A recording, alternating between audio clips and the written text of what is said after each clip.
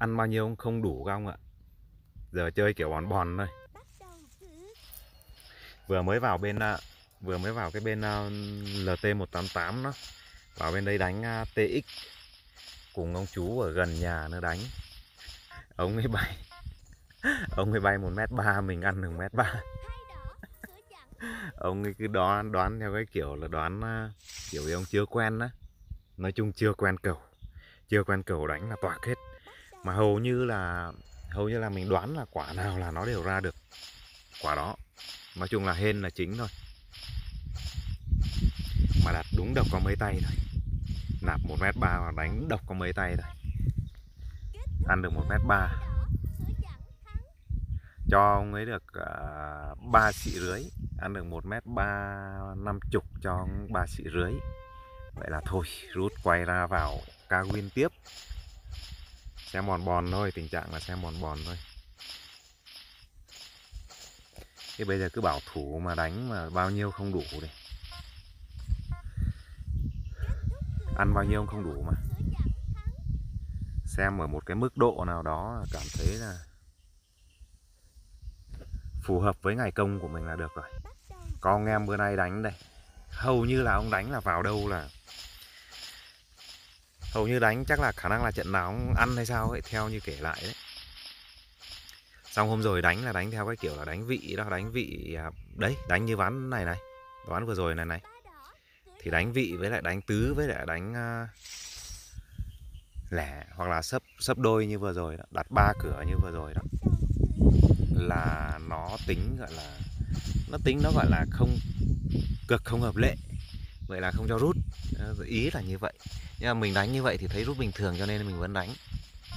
Mà hầu như là đánh tài đấy, cũng tài đấy, cứ vào năm xị mà lên cái độ khoảng mét rưỡi, hai mét rút cũng tài.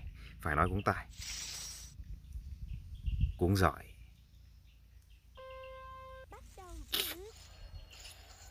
Mà hầu như là hôm nào mình đánh kể cả bên TX bên LT188 cũng vậy à.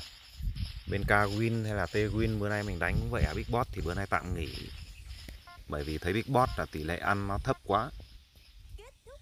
Hầu như là mình đánh thằng nào cũng vậy là mình vào mình xem chán rồi mình mới đánh chứ không phải là mới vào một phát một là đánh luôn. Có mà tiền núi.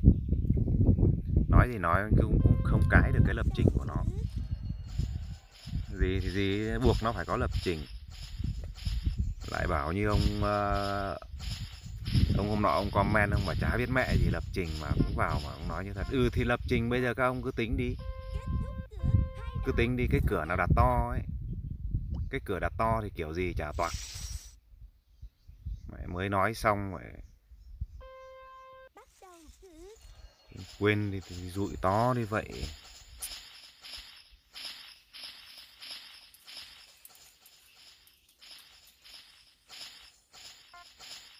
Không thể ấy được.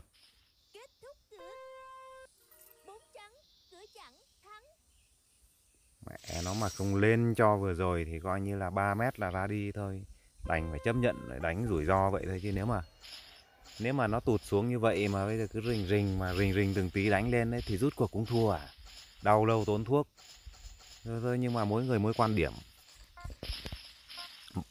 Kể cả bên TX mình đánh cũng vậy. Đánh phát nào là quyết định phát đó chứ không đánh ngâm ngâm càng đứt. Thà là cái lúc mà đang ăn ấy, đang ăn lên ấy thì mình ngâm được đấy. Một là lúc nãy là coi như là đi 3 mét còn hai nữa là kiếm một mét rồi nghỉ. Tầm tầm này thì thôi thì tầm tầm này thôi thì cảm thấy là cũng được rồi đấy.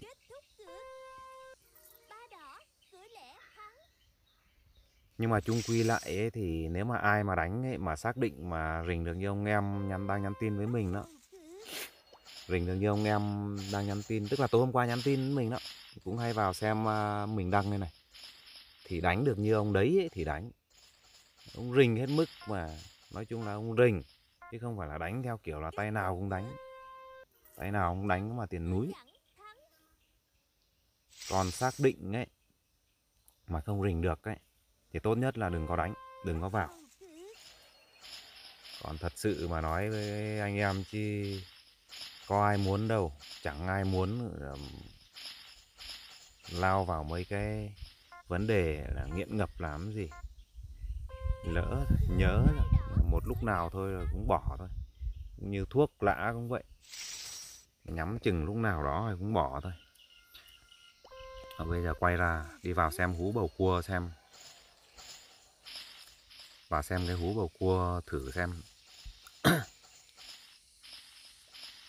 nếu mà cái hú nó mà đang to to thì đánh còn nếu mà hú bé thì thôi. Đó, xem.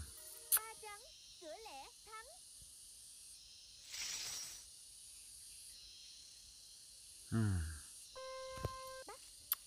quyết định. Đáng lẽ ra bây giờ 2 mét là nghỉ được rồi đấy. Nhưng thôi gượng gạo một tí bây giờ gà nó đang khan như vậy thì nãy giờ không ra gà kìa. Với lại con cọp nữa kìa. Đánh hai cửa cọp gà thôi. Hóa má nó vẫn còn khan luôn kìa.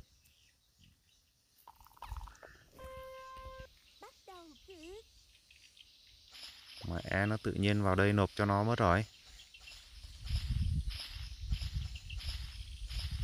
Thôi nhưng mà đôi khi phải biết chấp nhận, nó đánh đúng một tay nữa, đánh một tay gà nó không ra nữa, thôi chấp nhận ra.